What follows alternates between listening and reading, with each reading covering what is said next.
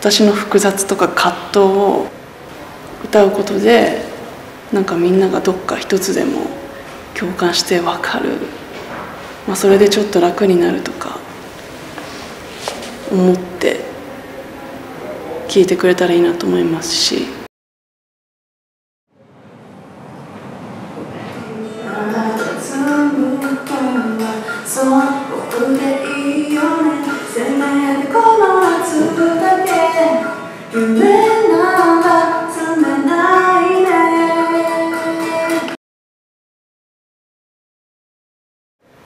ミュージックコレクティブの XinU です。とビートに思いを乗せて歌っています。ミュージックコレクティブっていうのは、まあ、私はソロのシンガーでもあるんですけど、まあ、今までいろいろ出会ってきた人たちと音楽を作ったりライブをしたりっていうのでソロ以上バンド未満っていうコンセプトで音楽を作っています。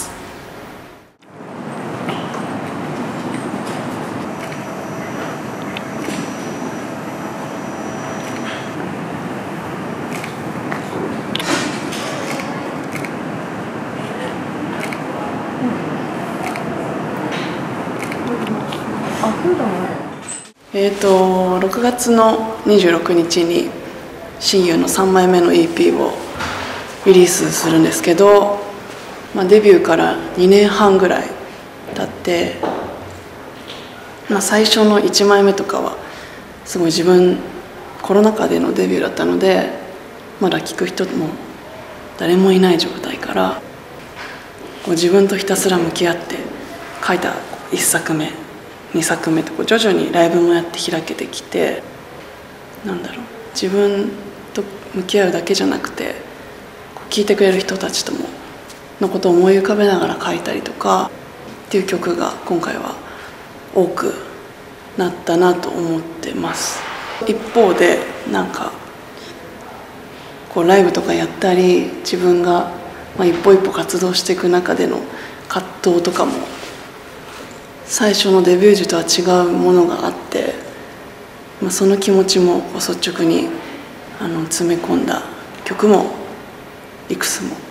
入ってるような作品になってます、まあ、そんな私の気持ちを共有することで誰か共感してなんかそっと寄り添っていけたらなと思って作っています。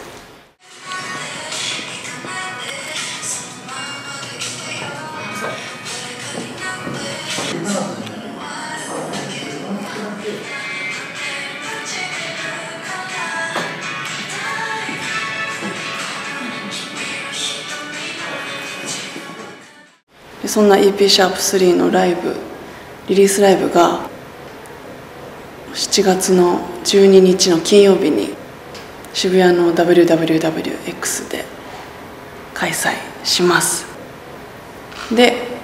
その東京のライブを中心にリリースツアーも決まっていて、えっと、6月に福岡から始まって福岡台湾と韓国ソウルで東京と。そこでみんなに EP シャープ3の曲をお披露目する感じになってます。韓国とか台湾とか海外のライブも初めてなんでちょっとそれが楽しみなことですね。で、えーと、12月26日にリキッドルームでの、えーとワンマンライブが決まってます。なので大きな目標としてはそのリキッドルームをいつも見据えての活動にこの1年はなっていくかなと思います。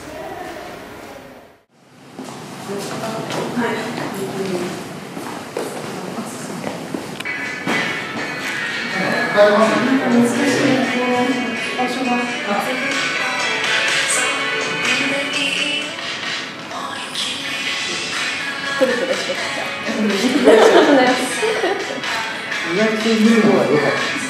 た。本当最初のミキキさんの最初のインタビューは1枚目の EP 入れた時で本当にライブもやったこあのタイミングでやってなかったのかな、まあ、この場所が親友最初のライブをした場所で今日は撮影とインタビューをやっていただいてるんですけど記事がなんか再注目されていますとか確かに定期的にお知らせが来たりしてあなんかみんなが多分音楽サブスクとかの音楽を入り口にこう私を知ろうとしてくれてるんだなっていうのがダイレクトに分かってなんか一方通行じゃない感じっていうのをすごく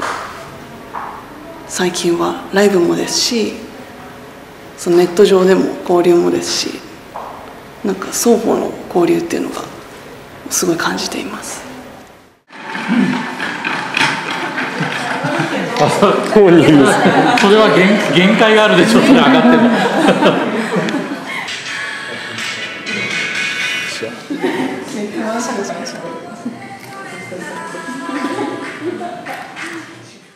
もうあれは一日10時間ぐらい制作やった後に家帰って「あ疲れた」って言ってギター弾いて歌うとか。弾いて歌うという行為に癒されることがなんでそれをインスタライブとか、まあ、ちょっと撮影して載せてみようっていうのがきっかけで弾き語りで載せたりとか自分でアカペラを重ねて載せたりしたら結構それがいいねって言ってもらえることが多くて。で去年とかはその動画がきっかけであの海外の方のフォロワーの人海外の人と SNS でつながれて、まあ、今回ライブも決まってっていうなんかあの弾き語りの動画がきっかけでいろいろ広がってる感じが今ありますね。やっぱりつながりをすごい感じられる。ライブができないじゃないですか制作期間って。だからこそ、まあ、ちょっとそういう SNS を通じてつながるとかコミュニティとかもあるんですけどそういうところで私もなんか力をもらってる感じですね。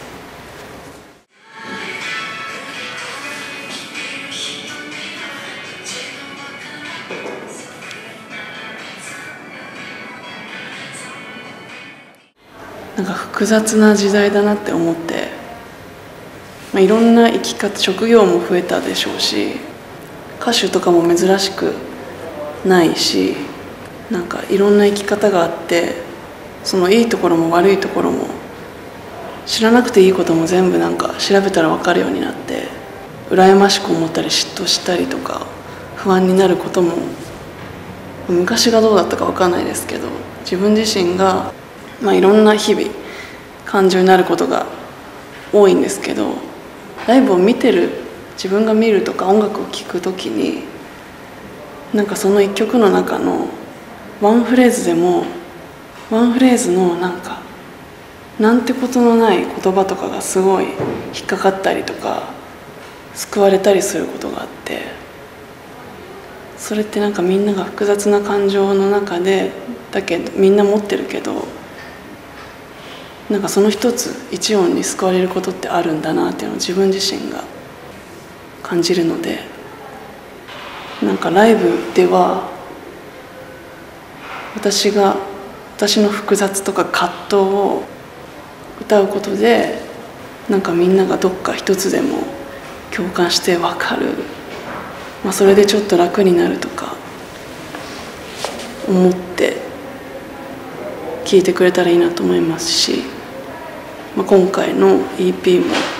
私の葛藤も詰まってるので、まあ、少しでも共有できたらいいなと思ってます。